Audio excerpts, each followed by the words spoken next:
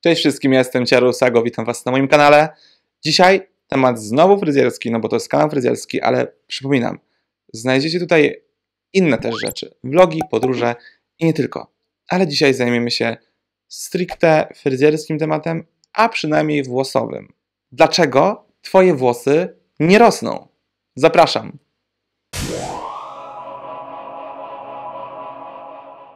Dlaczego moje włosy nie rosną? Dlaczego Twoje włosy nie rosną? Odpowiedzi może być kilka, ale najczęściej spotykane to trzy. Pierwsza.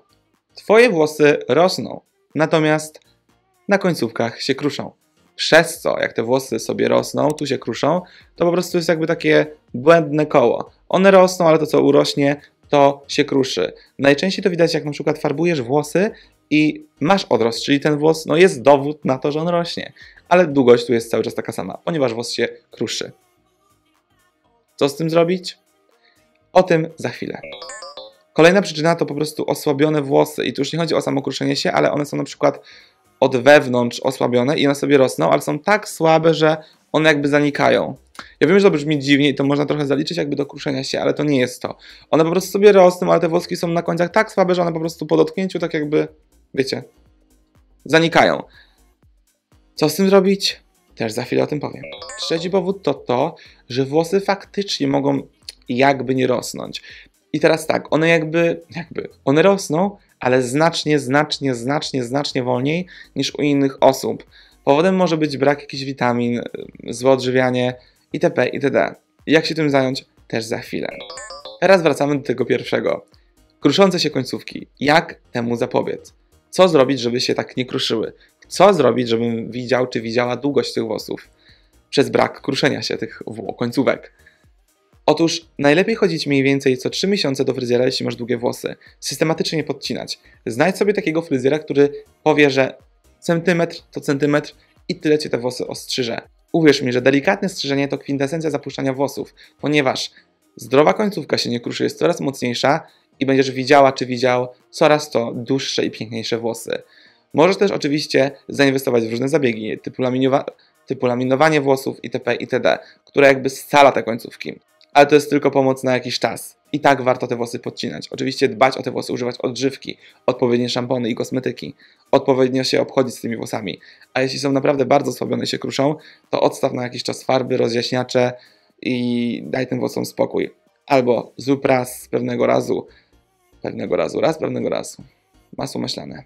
Ale jeśli dla Ciebie to nie jakaś trauma, to może pójść do fryzjera i zrób konkretne strzyżenie, żeby ostrzyć te włosy ponad tym rozdwojeniem. Bo czasami włosy rozdwają się na różnych etapach, nie wiem czy to wiedzieliście.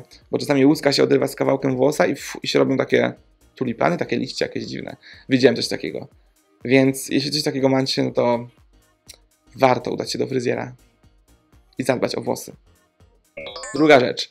Zanikanie włosów. One nie rosną, one są dotąd tylko i koniec. Słuchajcie, mam kuzynkę, która miała dokładnie taką sytuację. Ona zapuszczała włosy, przestała je rozjaśniać, miała swoje naturalne włosy, nic totalnie z nimi nie robiła. Była najlepszymi szamponami, odżywkami, a te włosy cały czas były dotąd. I to od skóry były takie dosyć w miarę gęste, znaczy nie jakieś ultra gęste, ale takie normalne powiedzmy, a tutaj takie, takie nic, takie pierka, takie, pierka, takie piórka, nie? I co ona zrobiła? Pewnego razu postanowiła, że te włosy naprawdę upierdzieli tak konkretnie. I słuchajcie, ona ostrzygła te włosy, e, te wszystkie takie najsłabsze pióra i potem podcinała je właśnie cyklicznie co 2-3 miesiące. Wiecie dokąd teraz ma włosy? Do pasa. One nie są jakieś nie wiadomo jak gęste i w ogóle, ale do tego co było, to wyglądają jak do czepy. Naprawdę. Ma swoje własne włosy. Długie, może sobie robić warkocze, wszystko i to nie wygląda jak jakieś wiszące na wietrze pióra. Więc może to jest sposób.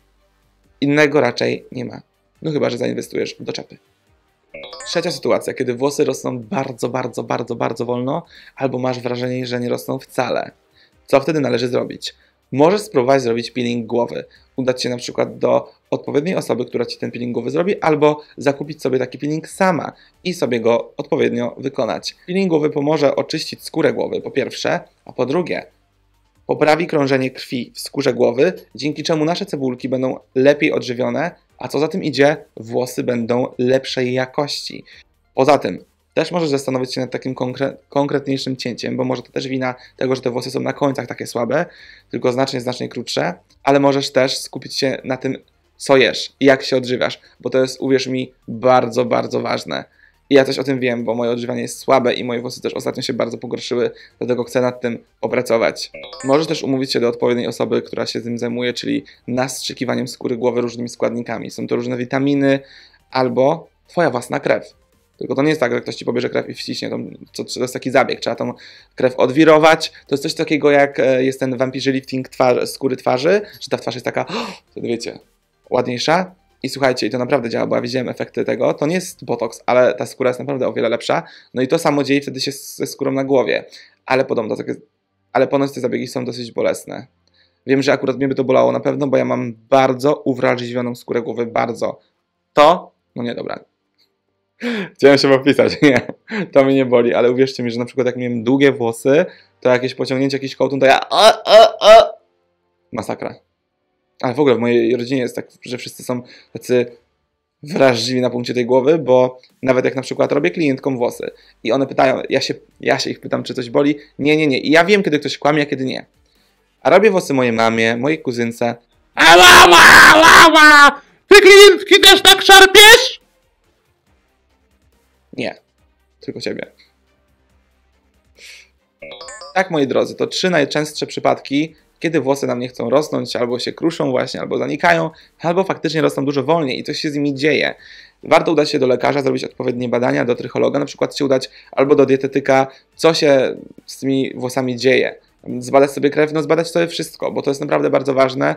Jeśli problem jest duży, no to warto zbadać się od środka i naprawdę dobrze się odżywiać. Możecie oczywiście też zainwestować w różne suplementy itp. itd. No i też o włosy zadbać na zewnątrz, czyli używać odpowiedniej odżywki, szampony. No. Uważać z koloryzacją, robić ją odpowiednio. To jest wszystko ważne. Tak. Jeśli coś pominąłem, bo nie wiem, ale raczej powiedziałem wszystko, jeśli chodzi o to.